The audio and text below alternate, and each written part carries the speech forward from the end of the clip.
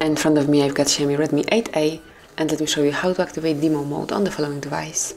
So first of all you have to open the settings, then find and select about phone, it's on the top of the list so it can be easily found, then click on MIUI version 7 times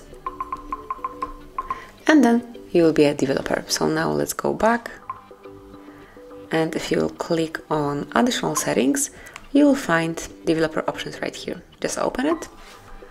And now locate demo mode right here. So you can smoothly activate it by tapping on the switcher. So just be aware that when demo mode is on the clock and the status bar will stop battery and signal icons will be disabled as full and you can turn demo mode off or reboot the device to change it. And let me turn it on. And this is it but obviously you can smoothly turn it off the same way just by tapping on the switcher and that would be all, so you can activate and deactivate demo mode. Thank you for watching. Please subscribe our channel and leave the thumbs up.